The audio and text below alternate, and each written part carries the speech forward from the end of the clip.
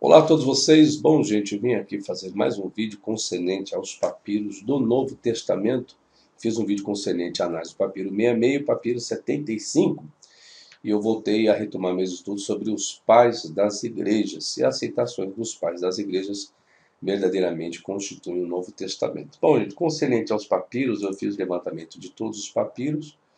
Existe a sua datação e o seu conteúdo. É muito papiro, vou passar rapidamente aqui eu fiz apenas uma análise do, do Evangelho de Mateus, vou passar aqui para não delongar esse vídeo, que são mais ou menos 120 e poucos papiros aí, uh, várias passagens do Novo Testamento, e eu vou fazer apenas um levantamento do Evangelho de Mateus, depois eu faço de todos os, os, os evangelhos e cartas, etc., do Novo Testamento. Bom, do Evangelho de Mateus é o seguinte: é, papiros, na verdade, vai aparecer apenas no século II.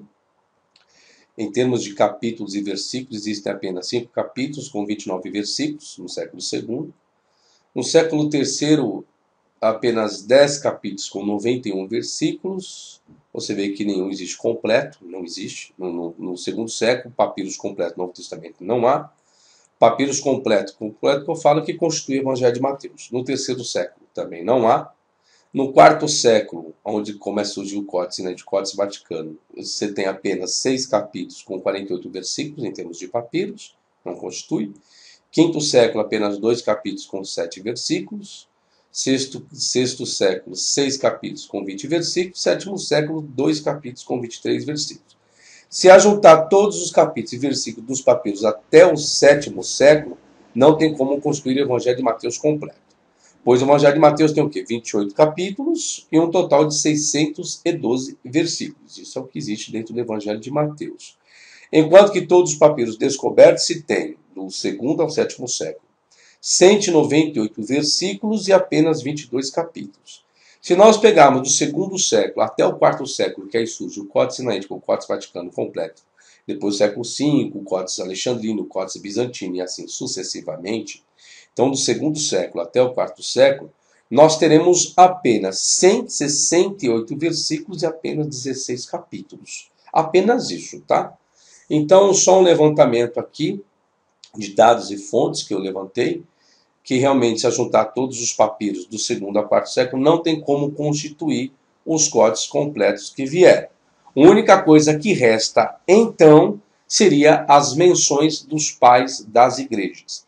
Eu já fiz um levantamento aí de alguns pais, sendo ele é, Justino Mártir, Policarpo, Clemente de Roma, uh, Clemente, Inácio, Policarpo e Justino. Esses quatro pais das igrejas eu levantei já os dados do que eles conheciam sobre Novo Testamento. Estão aí no YouTube esses vídeos e eu faço lá realmente do que, que eles tinham de conhecimento de Novo Testamento. Agora estou estudando o pai Irineu, que é um pai que tem bastante obras, e é, aí ele já adentra já praticamente em meados já do século II. Então estou fazendo um levantamento, eu vou até os pais das igrejas do século IV. Aí eu vou juntar papiros e pais das igrejas. E aí eu vou fazer realmente o levantamento. Praticamente isso é uma tese, né? Para ver se realmente se juntar os papiros e os pais das igrejas, se os códices é, conseguiriam ser constituídos de forma completa como eles existiam. Aí que aí é onde vai minha tese, né? Vamos ver. Eu estou nesse caminho. Já estou vendo aqui em termos de papiro até o século IV, o Evangelho de Mateus não tinha como ser construído no Códice Sinaítico e no Códice Vaticano. Agora estou analisando o pai da Igreja Irineu. Já vi que os primeiros, os primeiros quatro pais que eu estudei, Papias também estudei. Já fiz o levantamento também, não constituiria um, um Evangelho de Mateus. Por enquanto, só no Evangelho de Mateus, depois eu vejo todo o Novo Testamento. Aí eu vou para o pai da igreja Irineu, estou agora no pai da igreja Irineu, para ver se as citações deles constituem o Evangelho de Mateus. Então eu vou do, do pai Irineu até os pais no início do século IV. Aí vamos ver se o Evangelho de Mateus poderia. Isso já é um, uma questão interessante, porque se eu ver que ajuntamento de papiros não tem como o Evangelho de Mateus ser completo no século IV, não tem como. Se eu pegar os pais até o século IV e ver que também não dá, aí, meu amigo, aí o negócio vai ficar complexo. Aí vem a pergunta, ah, professor, mas existe o elemento dos materiais que foram queimados. Aí tem um problema, vamos lá. Se você ajunta os papiros, não constitui. Ajunta a menção dos pais das igrejas também não. Isso é um exemplo que eu estou dando. Primeiro aqui de Mateus, papiro, não tem como. Esquece então o papiro. O que me resta então é a menção dos pais das igrejas. Se eu ver que a menção dos pais das igrejas, dos materiais que existem hoje, não constitui, aí vem a incógnita que alguns levantam. Ah, porque foram queimados, aí tem um problema. Eu tenho duas ferramentas, não está constituindo. A terceira não existe. Ah, porque foi queimado. Se foi queimado, como vou ter uma comprovação científica disso? Hã? Como? De que forma? Eu não tenho como construir uma tese em cima do, em cima do nada. Eu tenho que construir em cima de alguma coisa que, que, que me dá existência.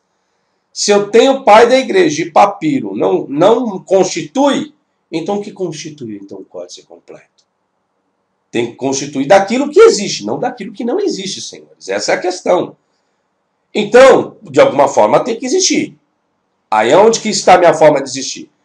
Do que existiu, não, não constitui. Então, como que eles constituíram? Vocês querem saber a resposta? Depois que eu terminar todos os meus estudos, mas fica aqui, ó. Um levantamento que eu fiz, apenas levantei todos os papiros do Novo Testamento, está aí catalogado, mas por enquanto estou no Evangelho de Mateus, tá certo? Se prepare que vem chumbo grosso por aí. Não se esqueça de curtir esse vídeo, se inscrever no meu canal do YouTube, curte minha fanpage no Facebook, é Professor Fábio Sabino, e adquire meus materiais no meu site, que é www.professorfabiosabino.com.br, tá certo? Sucesso a todos vocês, até a próxima aí, tchau, tchau.